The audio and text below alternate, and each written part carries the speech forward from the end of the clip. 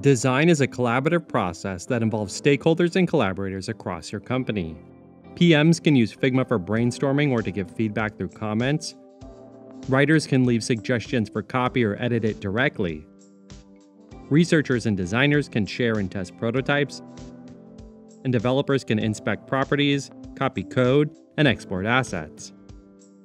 In this Figma for Beginners series, we've demystified this process by following the evolution of a mobile app from initial wireframes to an interactive prototype.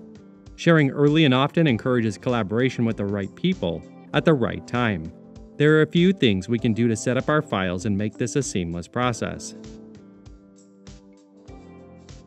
With the growing popularity of open design, members of your team might view and contribute to files at any point in time. To help orient people to our files, we can create custom thumbnails. This frame has the thumbnail dimensions of 1920 by 960.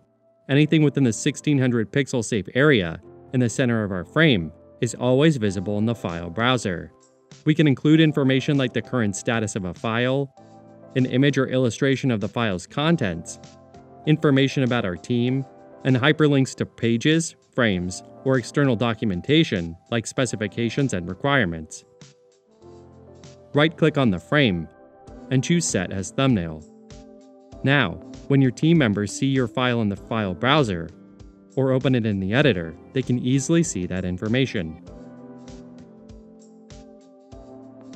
When and how you invite your teammates to your file may vary. Invite developers early to give feedback on the viability of your explorations, or near the end of the process when you're ready to hand off designs for production. You can invite collaborators to your files with edit or view access.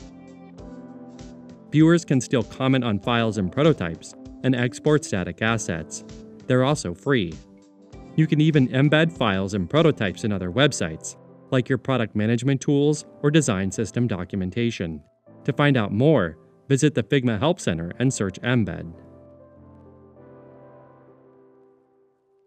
If you join the file as a viewer, Figma will look a little different.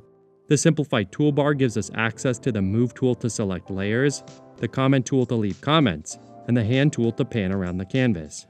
Viewers can also access Presentation View to preview frames and interact with prototypes, as well as other settings like toggling layout grids, rulers, or pixel preview.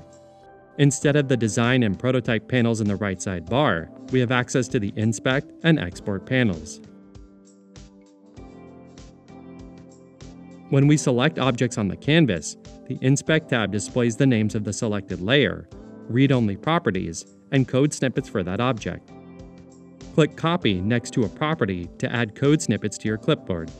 If a component is using styles, Figma will display the style name in the corresponding field. This is useful if you want to use semantic naming that matches your production code. If you've added descriptions to your component, or links to documentation, you can see them in the Inspect panel when you select an instance. Viewers can also export assets. As a developer, we want to export these icons for development. We can select the icon, go to the Export tab, and click the plus icon to add a new export setting. Figma will create a default export setting of 1x PNG. Your designs aren't set to a specific resolution. You can change the size of the export using the multiplier. If you want to export assets at multiple resolutions, you can add another export setting. You can also change the export format.